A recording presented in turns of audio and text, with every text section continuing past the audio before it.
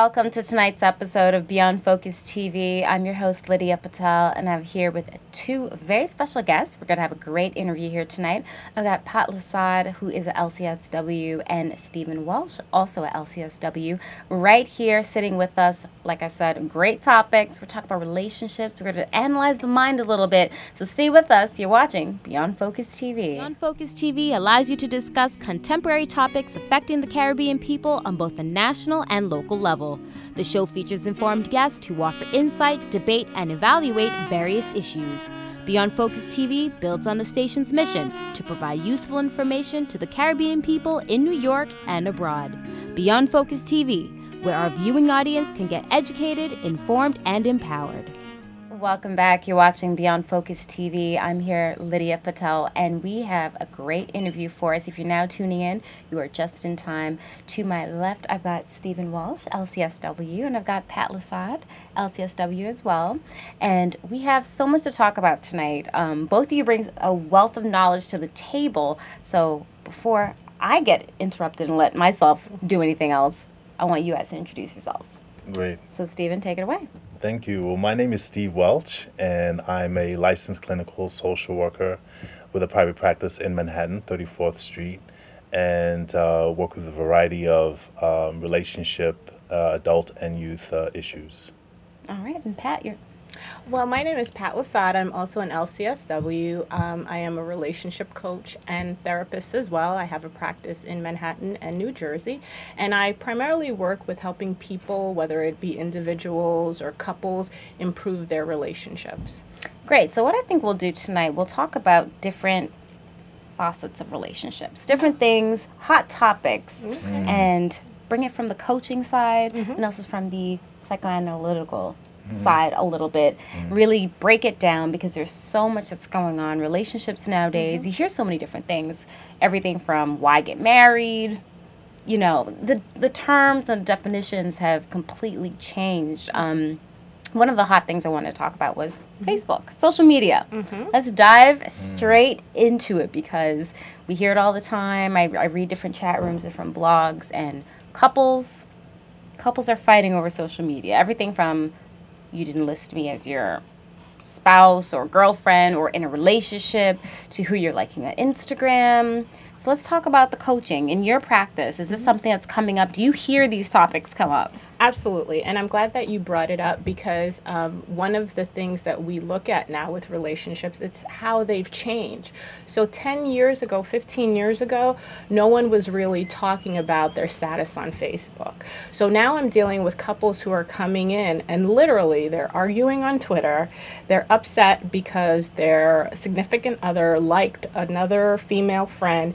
And there are a lot of concerns and a lot of stress coming through social media into the love relationship. And so I think it's important that when people are building intimate relationships that there be clear communication and boundaries. So that's one of the things that I would work on with couples that come in with a concern about social media in their relationship, setting boundaries. And I want to take that over to you break this down for us. Okay. What's, what's going on in the mind aspect? Of course, we know there's jealousy, there's emotions. Um, sometimes people may it's it's easy to misconstrue things on social media. Mm-hmm. A lot of times people think, well, it's more lighthearted and innocent comment, mm-hmm. but how I may perceive an innocent comment could lead to direct messaging mm-hmm. and inbox and little pictures being mm-hmm. sent, and it it does open the door. Sure. My my response is a little bit more general um, because I think the the aspect that I'll bring to this discussion today is really around men and mental wellness and how men tend to not view themselves as having issues or problems.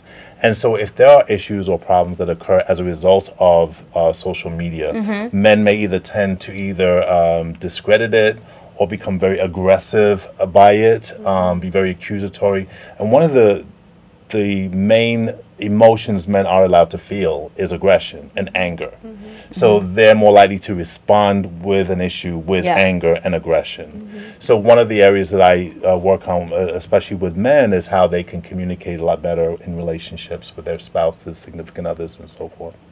And we don't discriminate here beyond Focus TV. We try to keep everything open for everybody. Is this a common issue also in the LGBT community?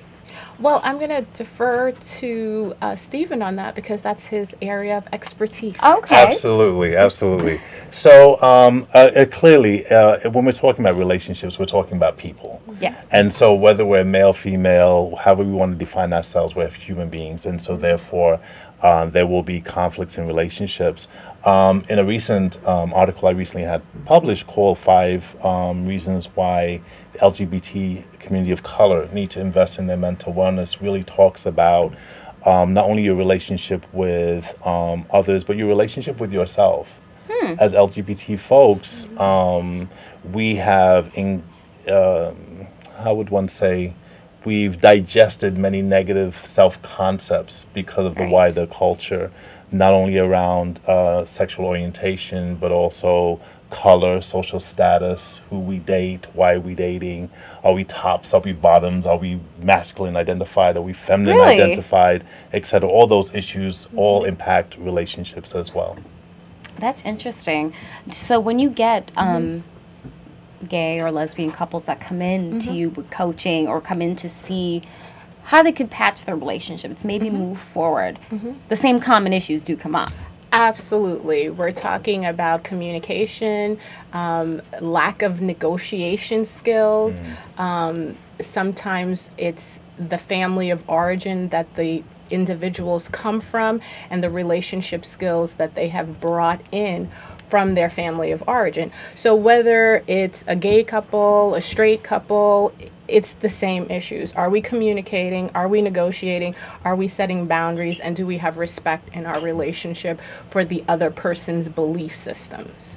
Now, speaking about that, because boundaries is such a, mm-hmm. a sensitive topic, mm-hmm. because what I may consider is crossing the line, mm-hmm. you may not see that. Um, I may feel that it's okay for you or to leave an innocent comment, or what I may feel is innocent comment, and my partner may not think mm-hmm. that was appropriate behavior. Mm-hmm. Mm-hmm. So, how would you say, from your standpoint, would be the best way to define um, what would be a clear boundary for certain things, and what really is considered inappropriate? Is uh, sometimes you know women we're told we wild out. You're going crazy. You know, you're bugging. You did all these different things that we're told. But if you if there's a particular person that you keep every day liking their pictures, you see them on their page. Can I, I think in on that's that reason. Can I- can I Absolutely. Take the floor. Uh, I will respond to it this way. In any relationship, I think it's about what does the couple agree to? What are the agreed upon boundaries that we establish together? That? Mm-hmm. Mm-hmm. So, in my relationship, let's say with you, we may agree on certain ways of communicating. With another relationship, that way of communicating could be considered volatile. You know mm-hmm. what I mean? So, it's what the couple agrees to that um, promotes health in that relationship. That would be a general I, response. I actually agree with that. I Mm. think that would be good. Like we agree, well, this is what we're both comfortable with. Right. But I'm looking at more of the, the behavior of why Mm. are you liking this person's page? Or it could be myself. Why do I find myself having to communicate with this person all the time?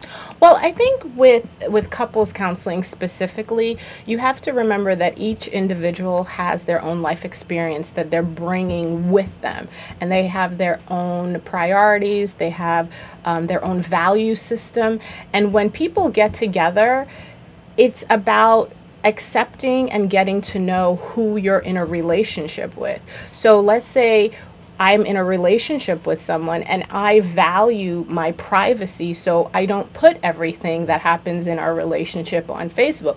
But my partner may be very open and come from a family where they share everything. So these two different frames of being in a relationship it's going to create conflict, right? Well, hold that thought. We're going to take a quick break. I want to pick back up on that because Okay, that's a no big problem. topic right here. Keep it with us. You're watching Beyond Focus TV.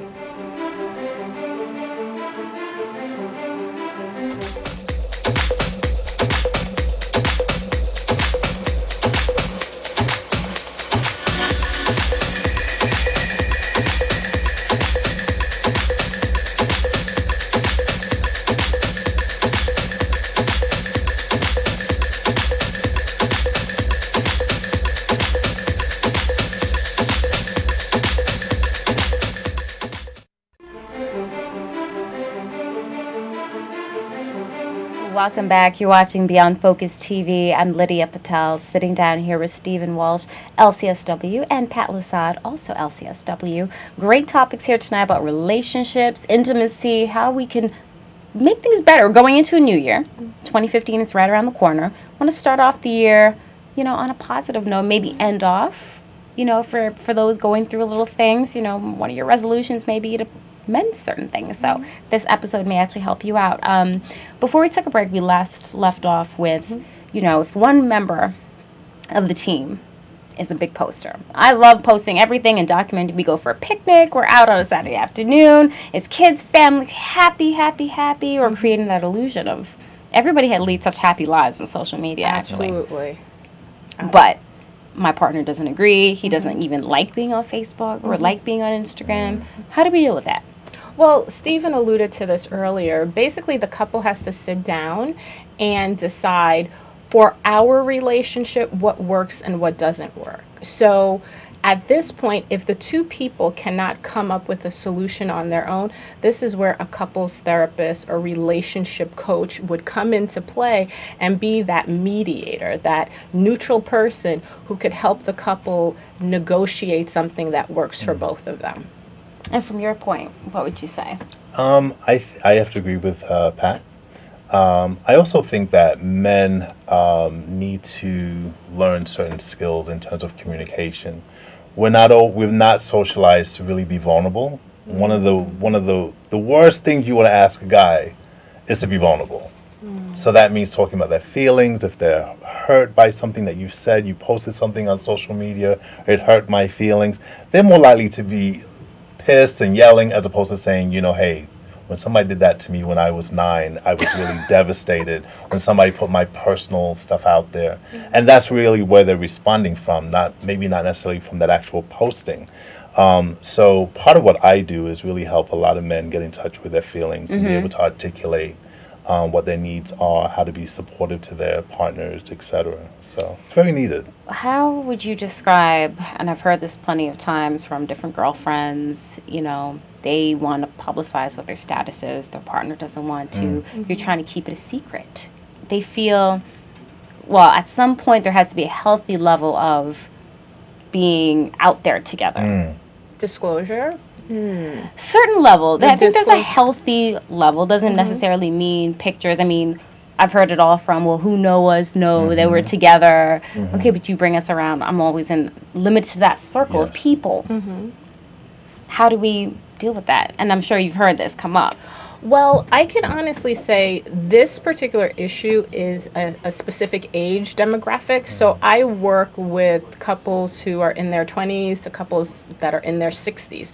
So my older folks are not on Facebook as much and are not concerned with statuses, but my 20s and 30 somethings, this is the way they communicate, yeah. right? So I think there needs to be an honest discussion about what is appropriate and needed online versus what is something that we're going to keep personal. A lot of celebrities now, you'll see, like for Beyonce, we didn't know Beyonce and Jay Z were together for a very long time. There was speculation, people thought they were together, but there's some things that don't need to be broadcast to the whole entire world. And my question as a therapist is, what is it that makes us so compelled to put ourselves out in front for everyone to see? Is it a need to be validated?